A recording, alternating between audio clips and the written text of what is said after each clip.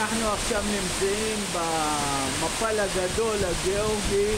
אלו התמונות מרגעיה האחרונים של נעמי משה, בת 58 מבת ים, בטיול בגיאורגיה, זמן קצר לפני שמשאית פגעה בעוצמה במיניבוס שבו נסעו ליד בתומי. בתאונה נהרגה גם אלינה אומנסקי, בת 36 מנהריה. אנחנו נסענו עם המיניבוס במשאית במהירות. המזל שהמיניבוס לא התהפך לתהום. אם היה מתהפך לתהום, כולנו היינו הולכים. כולנו היינו הולכים. אשתי מתה במקום. במקום, אשתי מתה, במקום. אני, אני בדקתי לדופק, וראיתי שאין לה דופק. נעמי משה אם לשני ילדים וסבתה לשלושה נכדים, ובאה היום אחר הצהריים למנוחות בבית העלמין בחולון. היא ציפתה מאוד לטיול הזה והתרגשה לקראתו.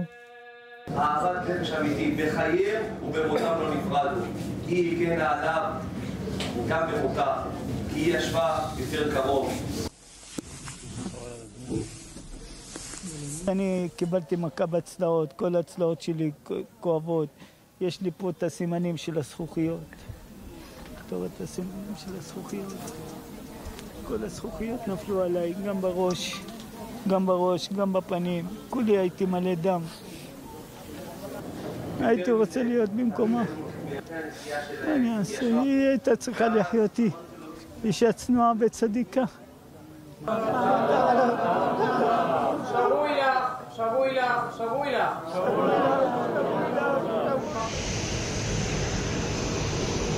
במבצע הטסה מיוחד הובאו בימים האחרונים לארץ הישראלים שנפצעו בתאונה והארונות של שתי הישראליות ההרוגות.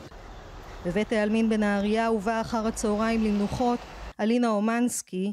היא תכננה לחגוג עם בעלה את יום הולדתו הארבעים ובמקום מסיבה גדולה בני המשפחה והקרובים נפגשו בהלוויה.